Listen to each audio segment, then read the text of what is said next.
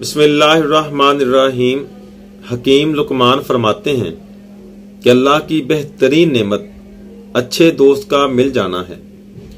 खुदा की बे इंतहा नेमतों और उसके एहसानात का शुक्र ये इंसानी ताकत से बाहर है। जो बंदा खुदा की बख्शी हुई दौलत में से खुदा के बंदों का हक नहीं निकालता, उसका माल नापाक है और उस माल के साथ उसका नफ्स भी नापाक है। सखी को सखावत करते वक्त जो खुशी होती है, उसका अंदाज़ा बुखील कभी नहीं कर सकता।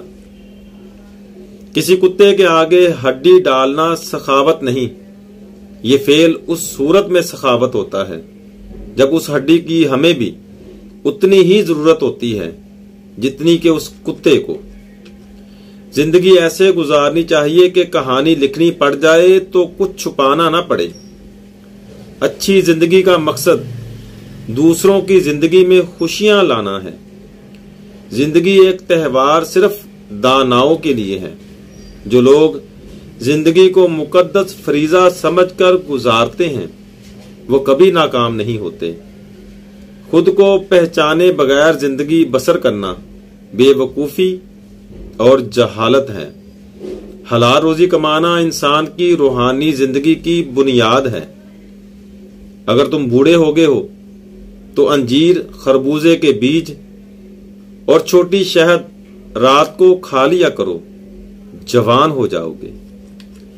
वक़्त अल्लाह की अमानत है, जिसका एक लम्हा भी जाया करना खयानत जुर्माना है।